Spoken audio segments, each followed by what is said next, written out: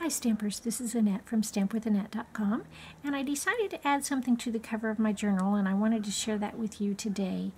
Um, I got the ruffle trim from Stampin' Up! that's the um, stretchy ribbon and it's in the Coastal Cabana that matches the other accents on my journal and I wanted to wrap around and um, hold my journal closed. I'm afraid it's going to get real bulky with all the things that I have going in it. So what I'm doing, I've got I've got my paper piercing mat down here.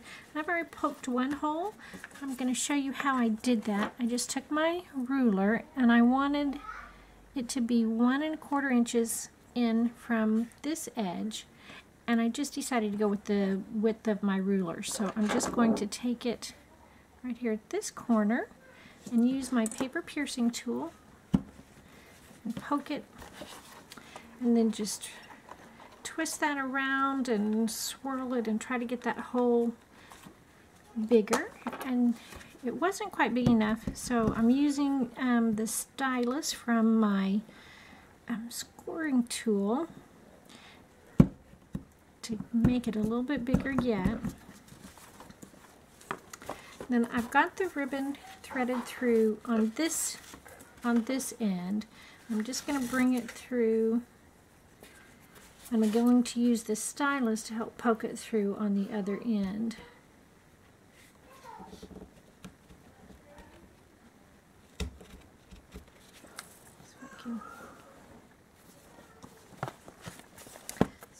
come through just enough that I can grab it.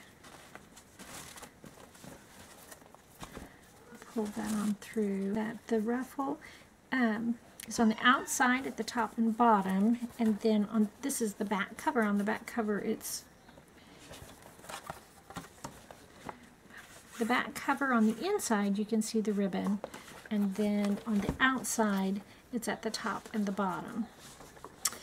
And I need to give myself a little more ribbon here, so I'm just going to pull it through those holes. And I want to pull it um, a little bit taut, but I still want there to be plenty of room for that to stretch and go around my album.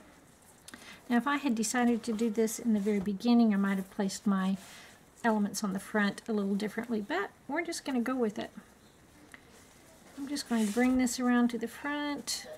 I think I've got my ribbon twisted there. Around to the front and I'm just going to tie it in a simple knot because I'm wanting to keep everything about this journal simple. Tie it in a little knot. Make sure that's a, a good length for it. I'll just trim that ribbon.